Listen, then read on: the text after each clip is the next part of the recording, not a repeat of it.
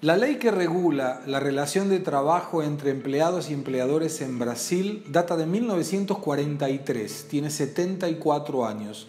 Fue promulgada por el entonces presidente Getulio Vargas, que sería el equivalente para la República Argentina como el general Perón.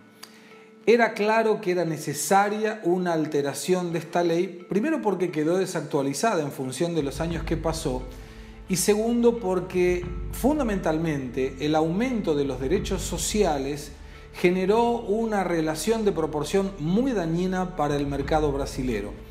Brasil responde con el 3% de todos los sueldos a nivel mundial, pero responde con el 40% de todos los procesos laborales a nivel mundial. Por otro lado, Brasil detenta 15.138 sindicatos, contra 168 sindicatos en Estados Unidos y apenas 12 sindicatos en Alemania. Argentina como forma de referencia tiene aproximadamente 3.500 sindicatos, pero considerando que Brasil tiene cinco veces su tamaño, la proporción entre ambos en relación a sindicatos está bastante equilibrada. Antes de ver cómo cambió la legislación, Vamos a dar algunas informaciones interesantes sobre cómo funciona el mercado de trabajo en la República Federativa de Brasil.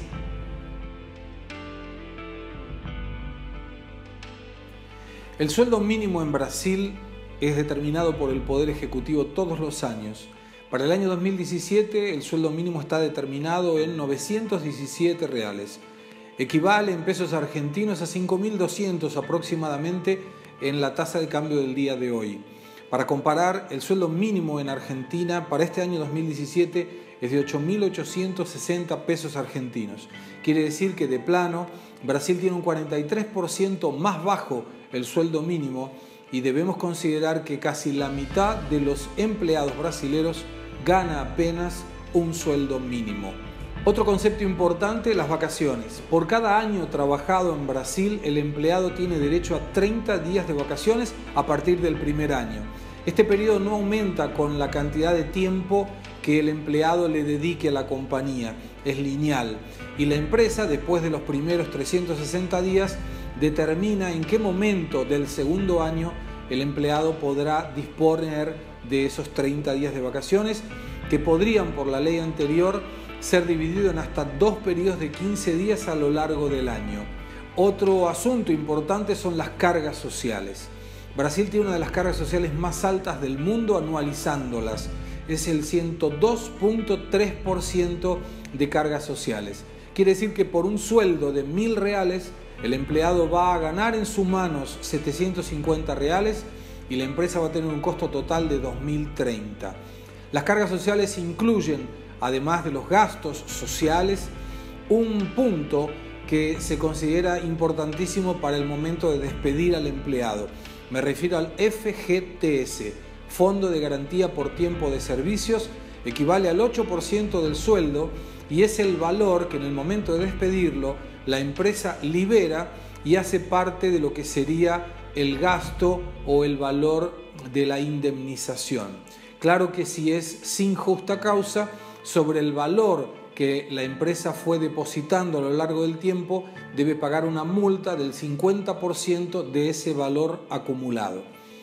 Otros datos importantes que son diferentes de la República Argentina, dos vales o dos tickets. El primero, el vale transporte. La empresa tiene la obligatoriedad de pagarle al empleado el traslado desde su casa hasta donde está prestando el servicio de trabajo. Este costo independe de la distancia y tiene relación con la cantidad de micros o de ómnibus o de trenes o de subtes que el empleado pueda tomar para ir desde su casa hasta la empresa. El otro ticket es el ticket de restaurante o ticket refeição. Si la empresa no tiene un lugar donde el empleado pueda calentar o sentarse a comer comida que pueda llevar desde su casa, la empresa debe pagar este ticket de refeición, el vale refeición, y debe darle la posibilidad al empleado de tener una alimentación digna en el barrio donde la empresa esté colocada. Por último, el tiempo de experiencia. Este tiempo o plazo de experiencia es equivalente a dos periodos de 45 días, un total de 90, en que la empresa puede hacerle un test al empleado sin que tenga que pagar costos de despido si el empleado no tiene las aptitudes que la empresa esperaba. Estos son algunos criterios generales que no han cambiado en relación a la nueva ley y que hacen de Brasil un país con algunas características interesantes en la relación empleados y empleadores.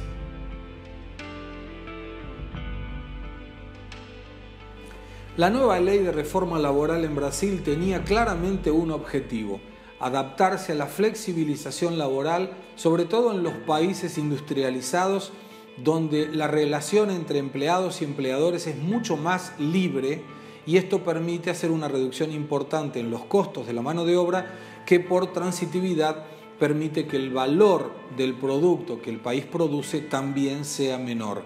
Brasil se había quedado en el tiempo con una ley que tenía 74 años de edad y por eso generó los siguientes cambios. Negociaciones colectivas. Las negociaciones tenían que ser hechas siempre a través de un sindicato. Con la nueva ley, las negociaciones son hechas directamente entre empresas y empleados y son homologadas por un sindicato. Jornada de trabajo. Era rígida, en general de 8 a 9 horas por día. Lo que cambió con la nueva ley es que la jornada de trabajo es libre, se puede negociar entre empleados y empleadores siempre respetando los límites de la Constitución esto es 44 horas semanales o 220 horas mensuales. Vacaciones.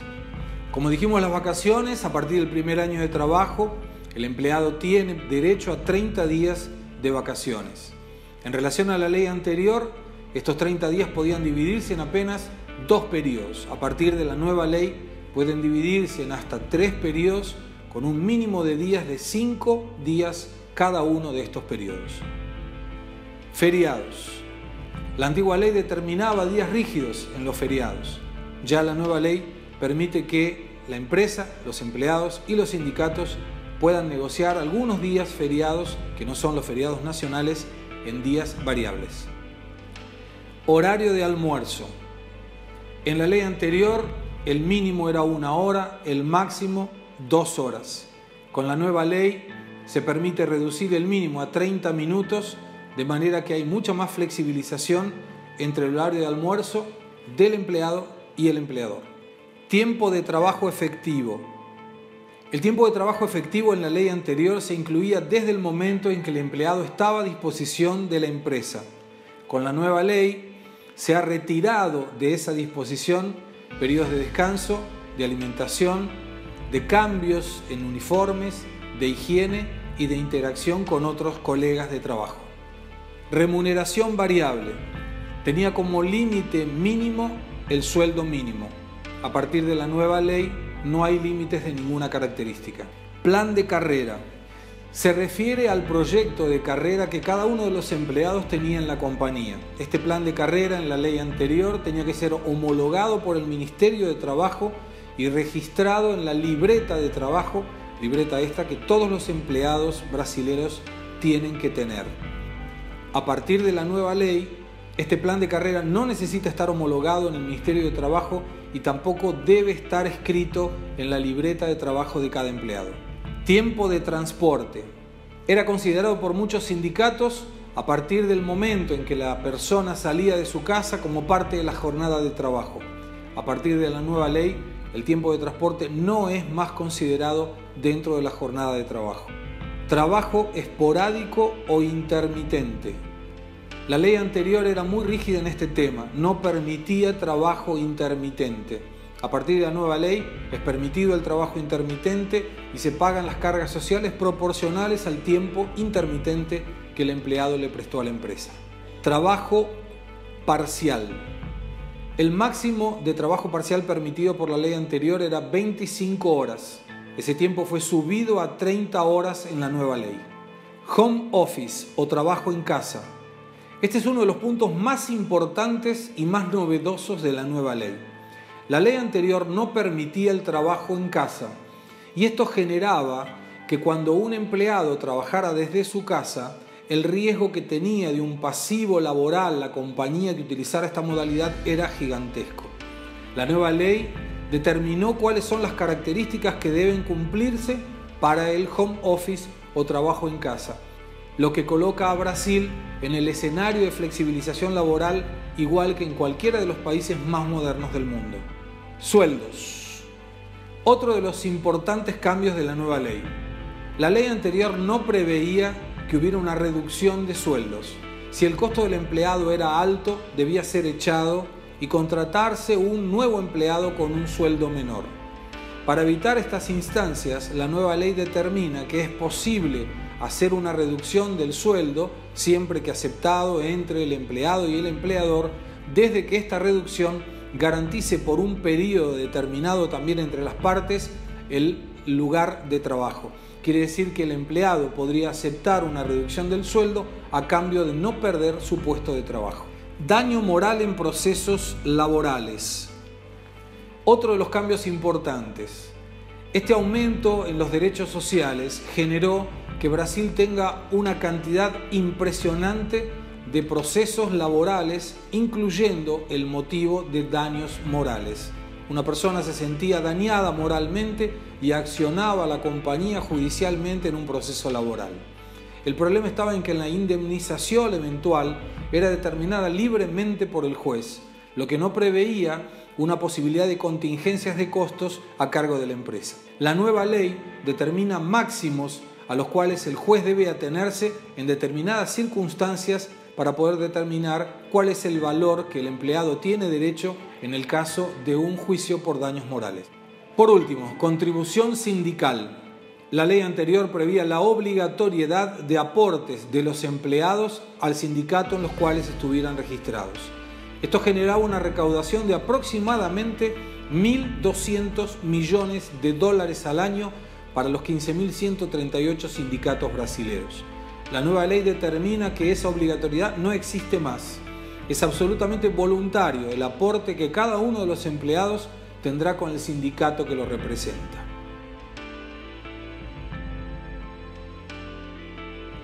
La nueva ley de reforma laboral en Brasil deja ganadores y perdedores. Dentro de los ganadores podemos incluir al país, Brasil, a los empresarios, y aquellos empleados que están dispuestos a tener remuneración por productividad, porque claramente están seguros de su trabajo y no tienen miedo de perder el trabajo ante otro empleado que pueda competir.